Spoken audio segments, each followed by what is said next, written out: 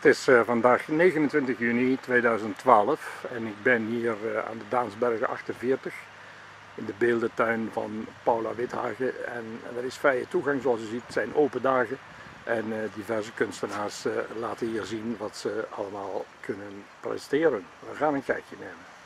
Ik spreek met Paula Withagen en we zijn in de open beeldentuin vandaag op 29 juni 2012. En Paula, een jaar geleden was ik hier ook. Ja? En eh, ja, dat is een jaar voorbij, dus je hebt nogal wat eh, ja. Ja, gecreëerd. Hè? Ja, wel, waar dat, staan we nu eh, bij? We staan nu bij een beeld wat pas klaar is. Ja, En daar zijn er bij elkaar, denk ik, zo, ja wel 15. Er zijn wel 15 nieuwe beelden. die je dit jaar Ja. allemaal gemaakt ja, maar die, de, daar zijn erbij, Mhm. die waren vorig jaar met diezelfde open dagen, speciaal dagen moet ik zeggen, waren die ook al bijna klaar. Mhm. Ja, ja. Die zijn nou allemaal afgewerkt. En, en de- dit, wat, welke naam draagt dit? Struis, het is Struis. een struise vrouw. Ja, ja, ja. Het is een, En ze- is heel lang. het is een en- mooie, lange, slanke Ja, vrouw, dat zoals ik altijd ik denk het omdat ik zelf zo klein ben. Het is een beetje frustratie. Maar het is wel mooi, maar ja, er is, niet, er is nooit te zeggen hoe lang je nou over zo'n kunstwerk nee, doet. je doet er heel lang over, maar dat vragen heel veel mensen. Ja. En het is ook zo dat ik dikwijls aan verschillende stenen bezig ben. Want eh, dat is ook, ook afwisselend.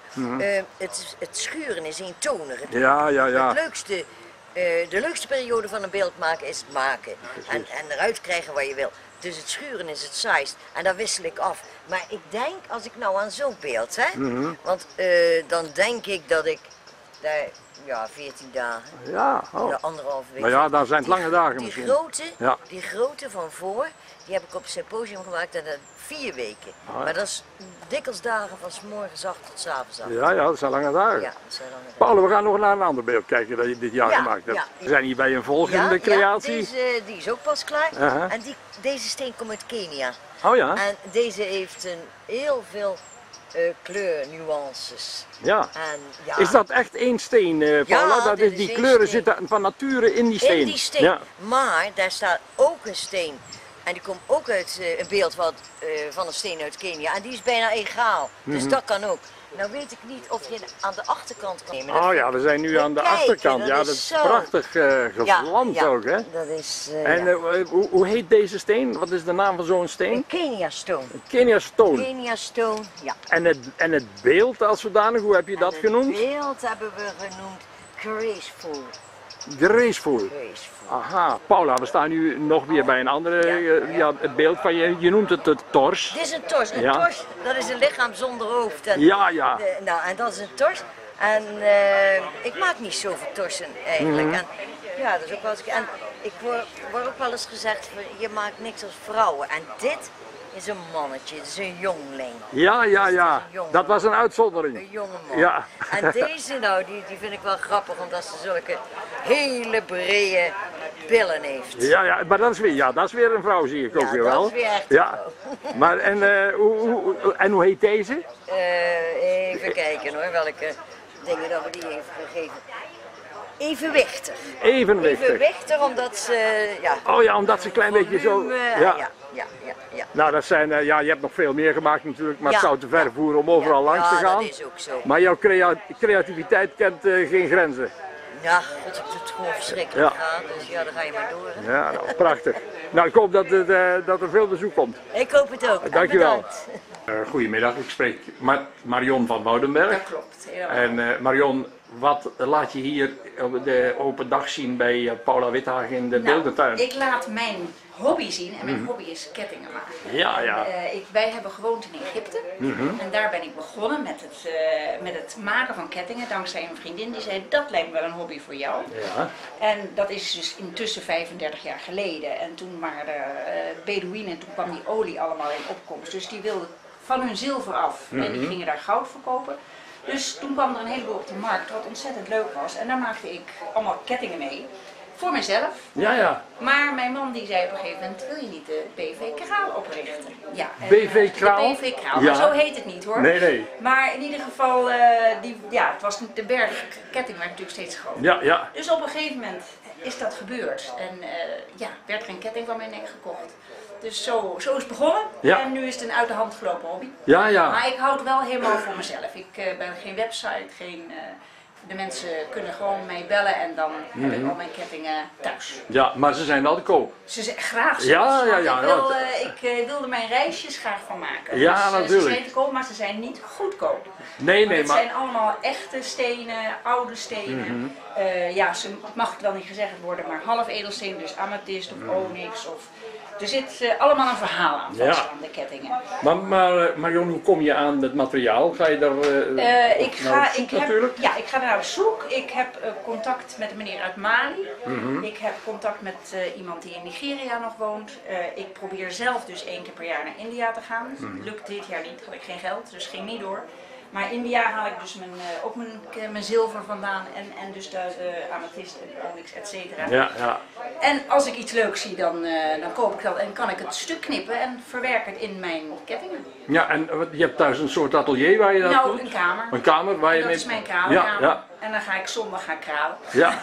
Maar het is een, eh, ja, het is een mooie hobby die, eh, ja. Ja. die natuurlijk ook anderen nog een hoop plezier kan eh, dat geven. hoop ik. Het, het is een hobby die ook geld kost, maar het is wel een hele leuke hobby. Ja. En wat ik dus ook doe is bijvoorbeeld mensen die dus zeg maar bloedkoraal van hun oma hebben geërfd en wat in laadjes ligt. Ja, En dan maak ik daar nieuwe kettingen van. Oh, dus ja. dat is ook heel Dat is ook een vind ik mogelijkheid, ook een ja. heel leuk, leuk iets. Want dan gaan de mensen het ook weer dragen. Want het is zonde als die kralen maar in laadjes liggen. ja.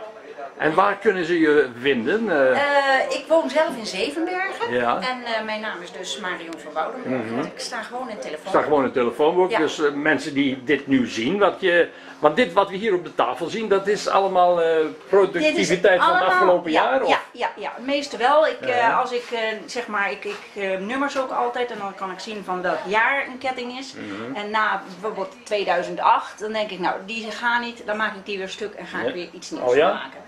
Dus, eh, maar dit is Wat, inderdaad... wat we hier in de kast zien, dat is eh, ook is- allemaal recent werk. Allemaal, ja, ja, min of meer wel. Ja. Recent werken. Het is natuurlijk wel een, een, eh, iets wat niet uit de mode gaat, zeg Nee, maar. nee. Dus eh, ja, het blijft gewoon. En, Mhm. en ja, zelf, eh, ik maak natuurlijk niks wat ik niet leuk vind. nee. Dus eh, ja, ik vind het Nee, is leuk. een, een vraag die ik je wil stellen. Voordat je begint, je begint aan iets, je hebt iets in je hoofd en dan denk Nee, je, je ja, hebt niks hoe- in je hoofd. Nee, Dat is het gekke. Je hebt niks in je hoofd en het gaat ineens. je, je gaat zitten, En dan, En- het, het gebeurt. je begint met een Ik had bepaald... ook nooit gedacht dat ik dit zou doen, Nee. maar het, het is gewoon gebeurd. En het Ah. gebeurt. Ik kan niet zeggen van. eh, wat ik wel eens heb, is dat mensen zeggen: Nou, ik heb een jurkje gekocht, eh, blauw met groen, en kan je daar iets bij maken? Mhm. Ja. Dan weet ik kleuren. Ja, en dan ga ik iets doen. Ja, En als mensen het niet mooi vinden, dan even goede vrienden, Ja. dan ga ik weer iets anders Ja. proberen. Maar eh, het is natuurlijk, ja, je kent waarschijnlijk een heleboel mensen die ja, kettingen van je hebben gekocht. Ja, En die daar nog, ja, die je Ja. vaak tegenkomt ja misschien. die je vaak tegenkomt. Nou, dat En, moet wel heel leuk ja, zijn om dat is eh, hè? superleuk, dat is een ego-trip. Ja, ja. Dat is gewoon helemaal leuk. Ja, Dus, want het eh, is logisch, je maakt iets om te laten zien. Hè? Dus is echt, als je en die- alle vrouwen zijn eigenlijk toch wel eh extras, kraaien of wat dan ook. Nou ja, in ieder geval, eh, Alles wat schittert en blinkt vinden ze dat mooi. vinden ze mooi. Ja, nou, ik vind het een prachtige bezigheid die je hebt. Het is heel Bedankt. kunstzinnig. En, Bedankt. En ik ben Paula ook heel dankbaar dat ik hier mag zijn. ja, want dit is de eerste keer dat je, Ja. dat je hier bent, hè? Ja, de eerste Ja. keer. Paula had mij gezien op een of andere beurs. Mhm. En eh, die zei, nou dat past heel mooi bij mij. Ja. Dus En, vandaar. en- maar sta je wel eens op andere beurzen ook? Ja, of één open dagen jaar, of iets van die naart? Ik Ja. heb zelf thuis altijd één keer een open dag in het jaar. In ieder geval één keer, soms twee keer, Mhm. dat ik open dag hou. Ja, ja. En eh, dan krijgen mensen uitnodiging en eh, nou, dat vind ik gewoon heel leuk om te Ja. doen.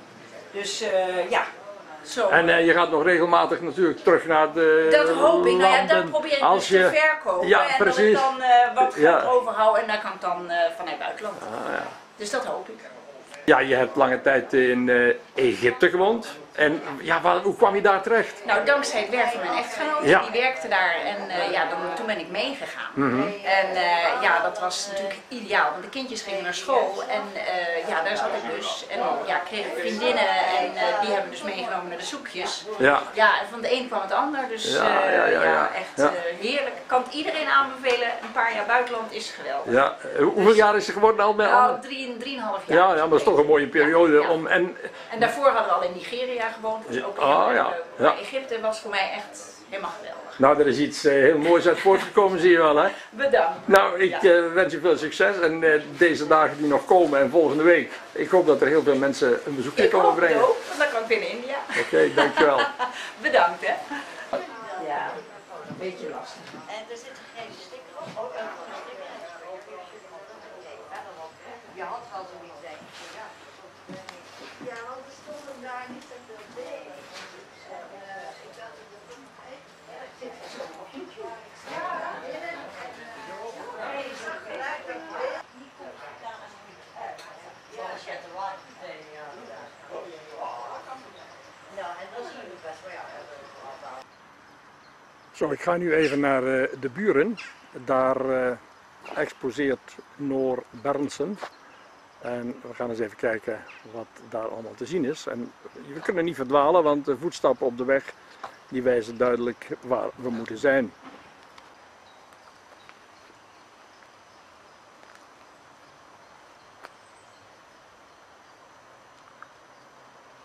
Eh, goedemiddag, spreek met. Noor Bernsen. Klopt. En eh, ja, ik was hier vorig jaar ook. En u exposeert ook nu tijdens de ja, open dagen de beeldentuin in samenwerking met Paula Ja. Withagen. Ja. En ja, eh, hoe zou u zichzelf omschrijven als...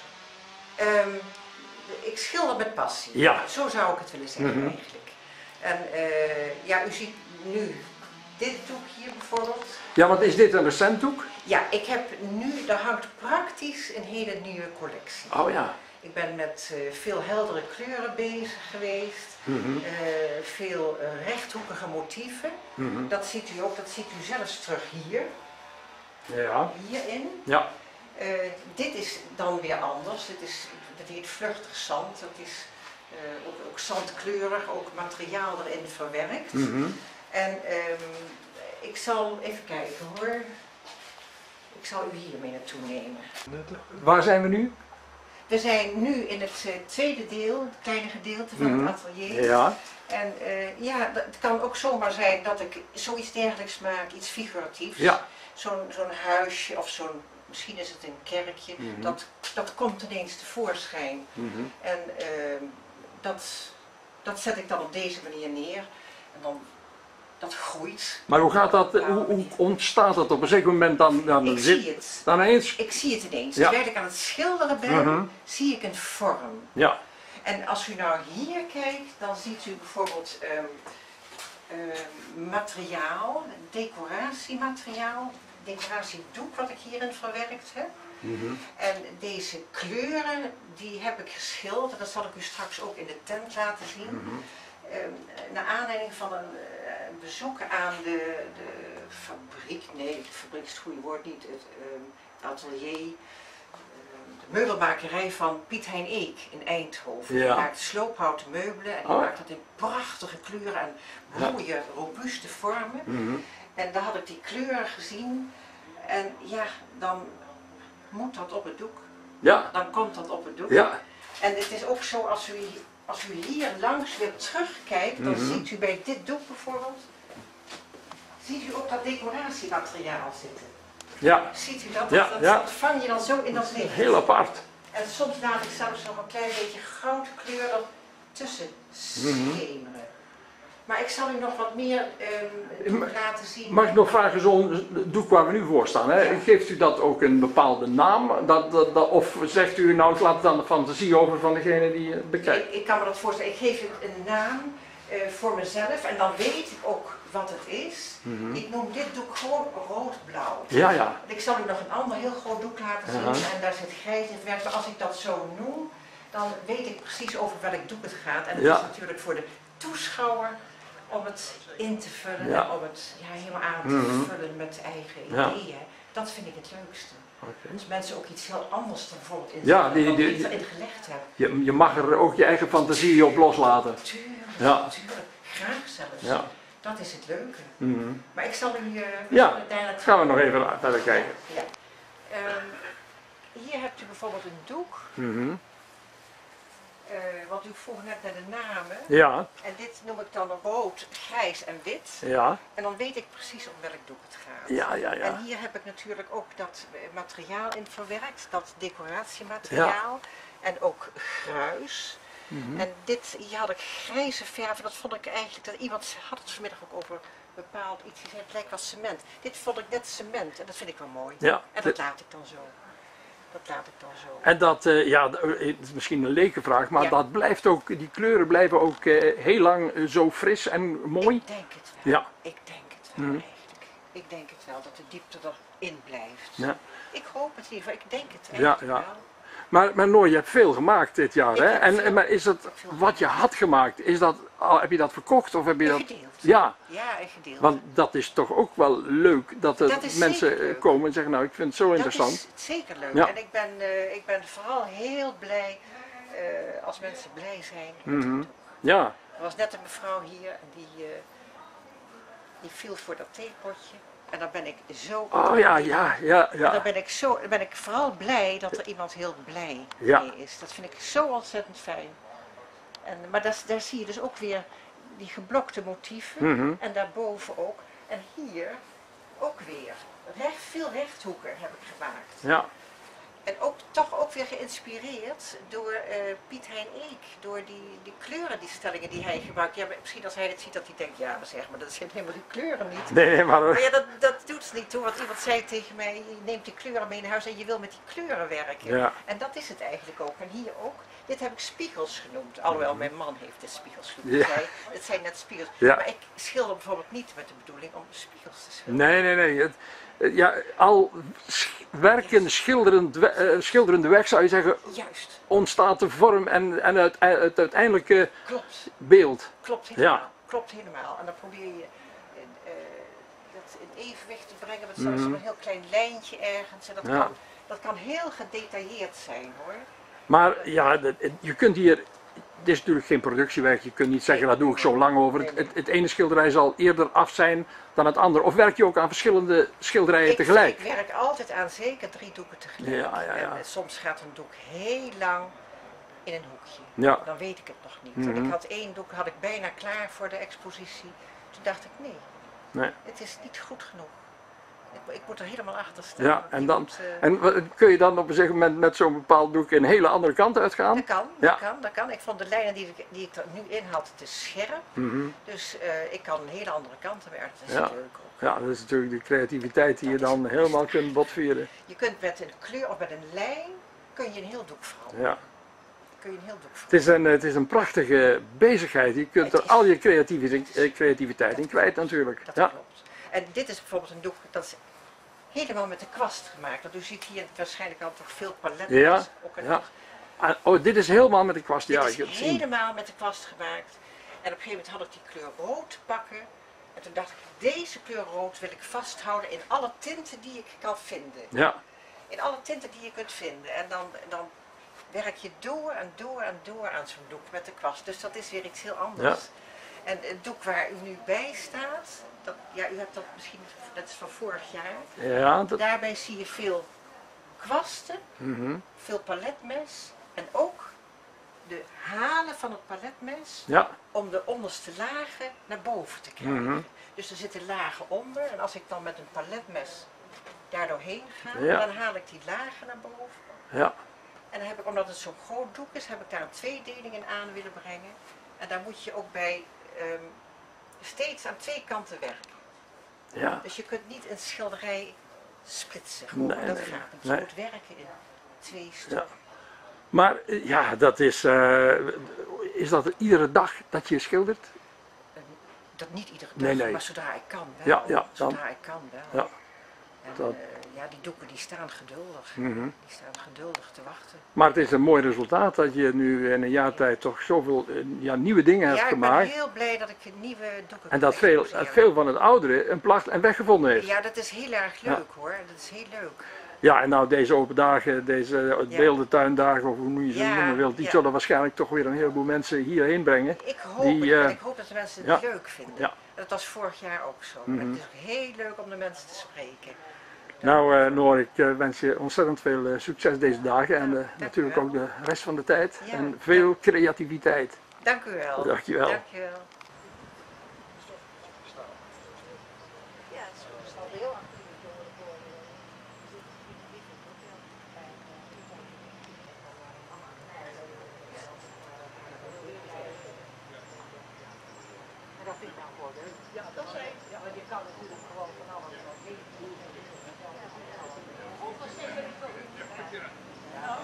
Goedemiddag eh, Ria, ik eh, spreek met Ria van Dijk. Ja. Vorig jaar eh, heb ik hier ook ontmoet.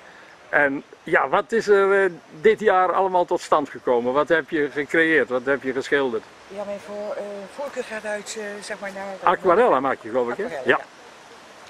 Ga voor, mijn voorkeur gaat uit naar de monniken, vooral ja, boeddhistische monniken. Mhm. En ja, ik word er eigenlijk een beetje geïnspireerd door, ja, door hun cultuur, door hun...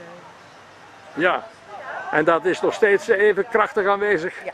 De, alle nieuwe werken die in je opborrelen, ja, die ja, zijn eigenlijk geënt op dit. Op een of andere manier heb ik er iets mee. Ik kan het niet uitleggen wat, maar eh, ja, ik eh, ben er heel erg in geïnteresseerd. Ja. Maar je doet dit, is dit, moet ik dit zien als een hobby die je uitoefent? Of is het een professie?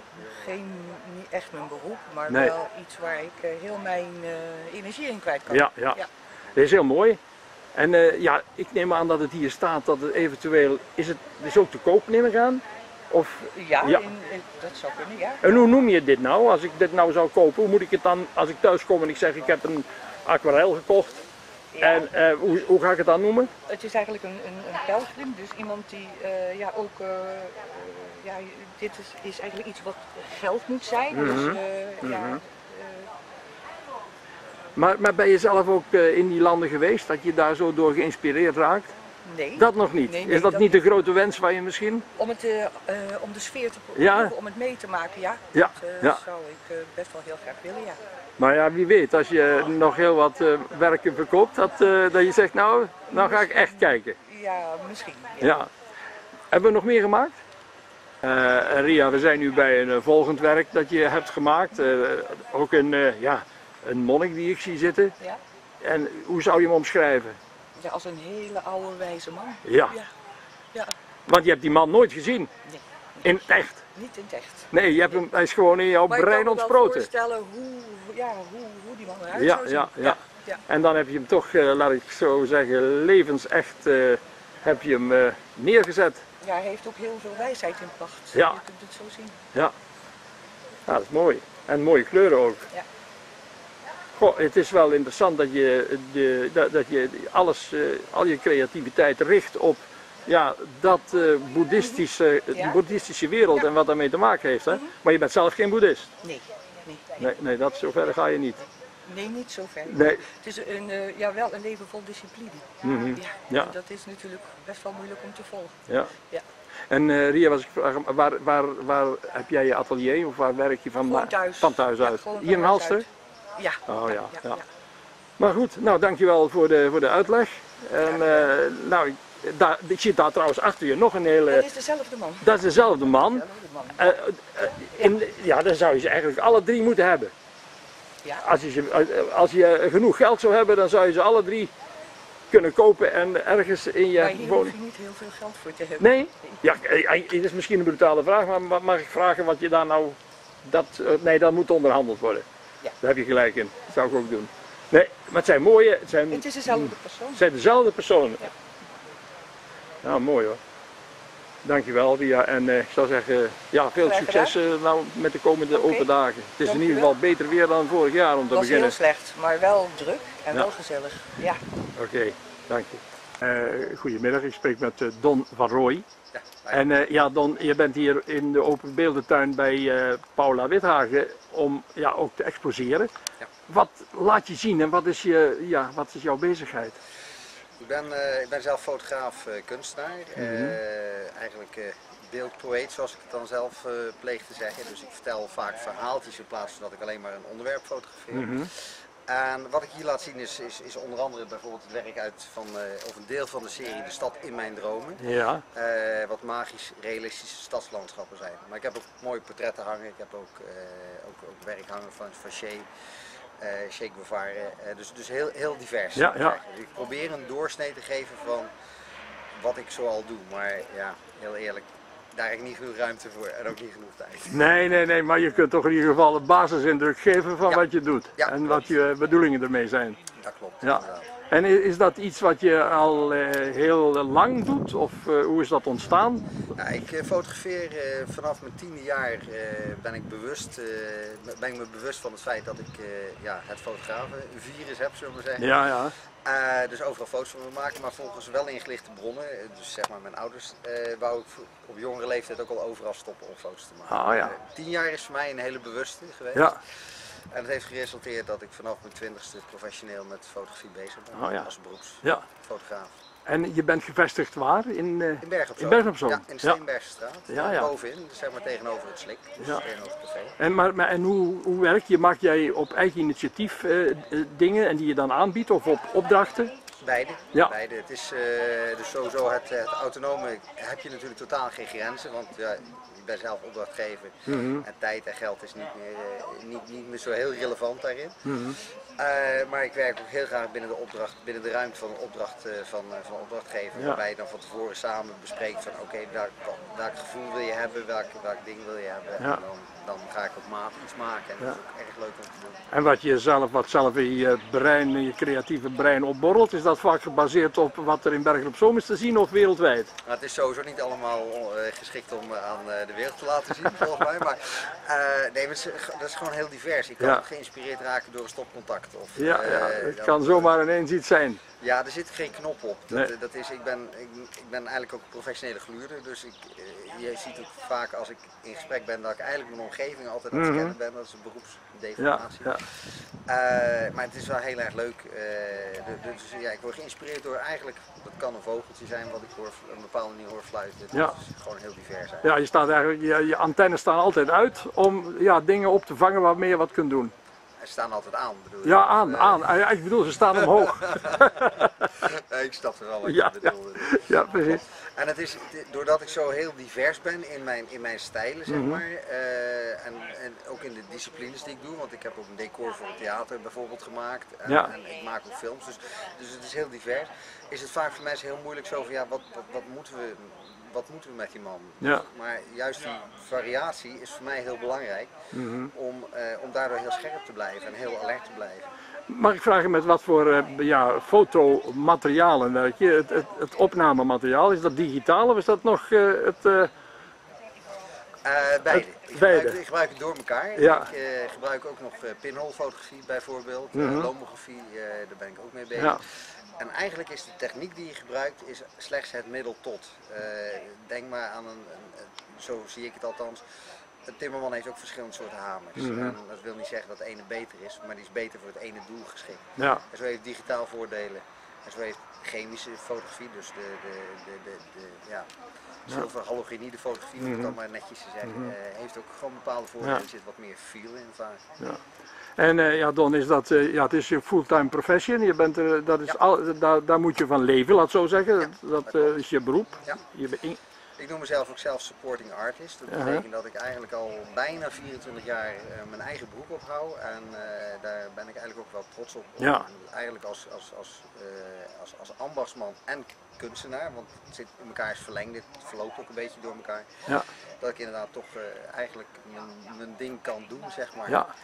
Niet altijd even makkelijk, maar het lukt. Nee, maar het is prachtig, want het is, een, eh, ja, een, het is een liefhebberij, een hobby, maar die heb je helemaal zo omgevormd of gevormd totdat het ook je, je inkomen oplevert. Ja, dat klopt. Dus het is van beide kanten is het natuurlijk heel prettig als je dat kunt doen. Ja, dat klopt. Het is alle- alleen dus geen, het is een zekerheid voor een rijk leven in je gevoel, in je beleving, maar het is eh, ook een zekerheid voor geen groot gevulde portemonnee, zullen we zeggen. Nee, oké, maar als je daar tegen kunt. Ja, daarom. Je ziet het, ik... eh, ik En ik je, je, je, je, je orderboek is nog zo ver open dat er nog wel gaatjes zijn te vinden om opdrachten aan te nemen. Ja, ik ben, ik, ik ben sowieso heel erg flexibel in mijn, in mijn werk. Mhm. En, doordat- ik werk op afspraak, dus, Ja. dus ik kan heel goed schuiven eigenlijk erin. Ja, En net als, ja goed, vanmorgen liep ik om vijf uur liep ik, eh, liep ik buiten om foto's te maken Ja. voor, eh, voor, een, voor een klant. Dus eh, ja, dat, dat kan. Dus, dat eh, kan heel flexibel. Ik ben flexibel, je bent je eigen baas. eh, Ja, desnoods werk je 24 uur per dag. Ja, dus Al- meestal bij wijze van want, spreken, eh, je, ja. je- je- dus ja, ook daar zit geen knop op. Nee. dat wil heel vaak zeggen kindjes naar bed dat ik weer aan de bak ga. Ja. Dan, eh, Nou, Don, is de eerste keer dat je eh, meedoet aan zo'n eh, zo'n zo'n open dag, zo'n zo'n expositie hier. Ik exposeer heel vaak Ja. eh, in binnen- en buitenland. Mhm. Eh, alleen eh, hier bij Paula is het de De eerste, eerste, de eerste keer. Nou, ik hoop dat, er, dat het mooie dagen worden. En dat Ja, het veel, ziet er in ieder geval allemaal fantastisch uit, Ja. dus, en ik ben trots dat ik eraan mee mag doen. en dat ja, veel mensen maar kennis mogen maken met je werk. Ja, met dat werk, maar ook van, van de collega's. erin. Natuurlijk, Dat is, ja. vind ik, ja, ik vind het mooi, een mooi, een mooi totaalverhaal en dat Ja. is heel belangrijk. Oké, dankjewel voor het gesprek. Graag gedaan ja, misschien. Of viool. Ja, die komt het wel. Ja. die komt er op.